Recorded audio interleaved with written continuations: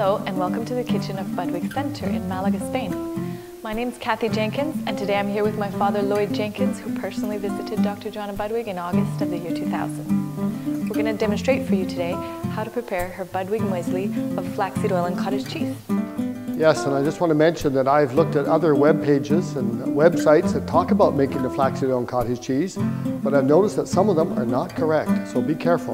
Today I'm going to teach you the exact recipe that I learned from Dr. Johanna Budwig.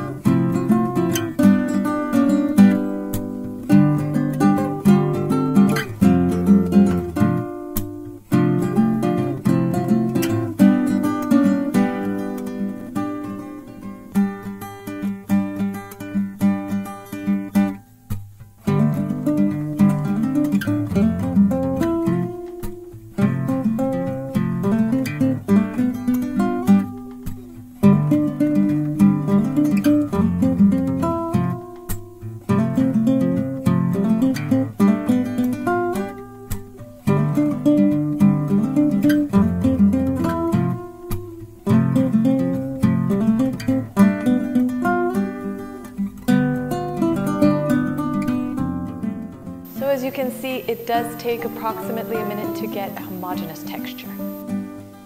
Yes, and we want to just mention a little word of caution here that if you have colon or rectal cancer, you would not use the seeds. Instead, you would just use another tablespoon of the oil. Now, you probably have a lot of questions of how to make this recipe, what things you can add, different fruits and nuts and all this. Well, we would like to encourage you to download our free guide, the Budwig Guide. It's a free download at budwigcenter.com. That'll answer all your questions about the flaxseed oil and cottage cheese mixture.